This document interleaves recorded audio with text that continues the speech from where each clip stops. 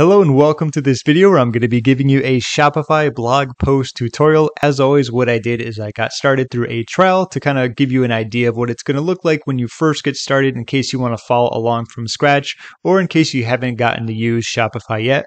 I will put a link down below in case you would like to follow along. They come with a free trial for easier access. So it's pretty easy to set up overall and I'll talk about a lot of the important topics as, as many as I remember, of course. And I'm even going to write a blog post using AI just to make it really really quick and show you what it looks like when it's completely done. All in all, you want to go to the online store section and click on blog post. And this is most likely going to be here if you're starting with a trial. But either way, what you want to do is scroll down and click on the create blog post button. All right, so now that we are here, we have golf swing tips for improving your score. That's just going to be my generic title that I want to utilize. I have an image already uploaded, so I'm just going to upload that here, obviously related to golf. We have an excerpt. We have search engine listing preview. That's going to be website and SEO stuff. We'll do that after. So here's the cool part. Now that I know what the title is, normally this is where you're going to go in there and, you know, add some content. But I figured I'd change things up a little because it's very easy to say this is where you edit your blog post. So I'm actually going to create a very quick blog post using Jasper, which is a completely different software. So what I want to do is have it write a blog post intro. I said the title is going to be what I put there. And let's click on generate AI content. There's nothing more frustrating than playing a round of golf and shooting a high score. You feel like you could have done better if only you knew how to fix your score. Well, don't worry. In this post, I'm going to help out. Great. Nice little intro. So we have our intro there. Next is going to be our subhead where we have our paragraph generator. So the slower you swing your golf club, the more control you have. So I want to create a paragraph based upon that. So let's go to our paragraph generator. We have that in our paragraph, what it's about, and let's generate some content.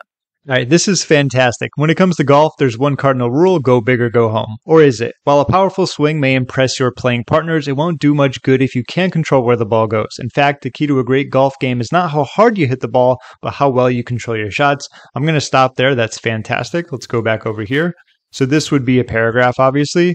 So what we can do is highlight this and just make it bold just to show that it's going to be like a, an H2, you know what I mean? So let's go to the next one. We have another paragraph here. It's going to be the benefits of taking practice swings before you hit the golf ball. So something like that would be take plenty of practice swings before hitting the ball. Let's write some more content on that.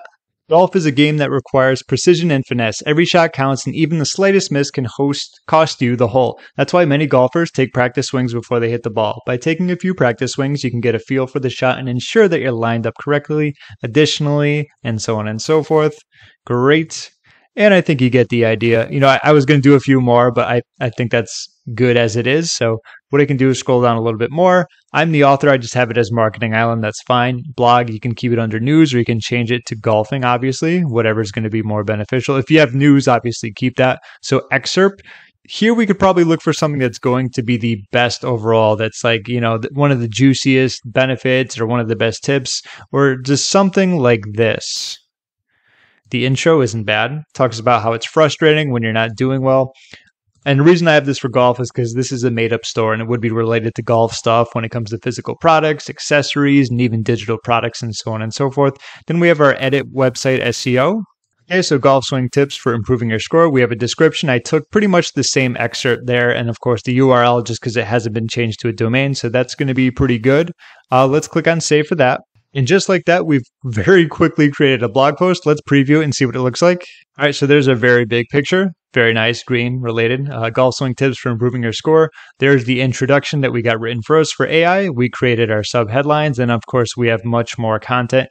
And obviously, that's a process that you can t- continue on and on. But I always love mixing and matching software tools, so uh, I thought it'd be cool to throw that in there. But all in all, that's going to be like the process when it comes to utilizing Shopify for creating blog posts. In my opinion, I think it's good. It's great that any type of builder software, whether it be e-commerce, landing pages, websites, has the ability to allow you to create blog posts. There's also a very big question when it comes to like Shopify blogs versus WordPress. In my opinion, it's great that Shopify has it if you want to do a few blog posts here and there. But if you're really focused on, if you want to do hundreds and thousands of blog posts, I think WordPress would be the best for that. There's just so many little ways to customize it and plugins and additions to help you out in terms of gaining better SEO traction, sending backlinks to, and so on and so forth. But I know that was a very popular question, so I wanted to address that as well.